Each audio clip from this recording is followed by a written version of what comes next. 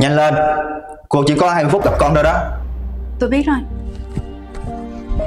À đi tới rồi. Con gái của mẹ Dạo này á Ngoan không? Ăn uống đầy đủ không? Dạ có mẹ. Cô đừng hỏi cái kiểu giống như là tôi ngược đãi nó vậy hả? À Vi à, Hôm bữa con đến thăm mẹ á Mẹ thấy có quyển sổ này nè Rớt ngay chỗ công trường mẹ làm á. À, Có phải của con không? Dạ không mẹ? Cái này hay là mẹ nhầm rồi? Cái này chắc của ai làm rớt á chứ không phải của con.